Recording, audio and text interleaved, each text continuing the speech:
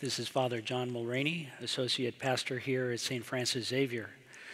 During this unusual time of the coronavirus outbreak, we are trying to support one another spiritually through many things online here at St. Francis Xavier, including a live stream mass uh, at 11:30 on Sundays, which is a private mass.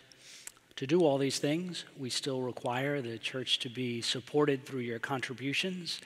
We encourage you to keep uh, making those through the ordinary ways that you do so. Uh, Faith Direct, we now offer Venmo, uh, and you can still send in your envelopes. So we encourage you to continue to check in with us on our website and to enjoy all our offerings that will be coming to you via the internet.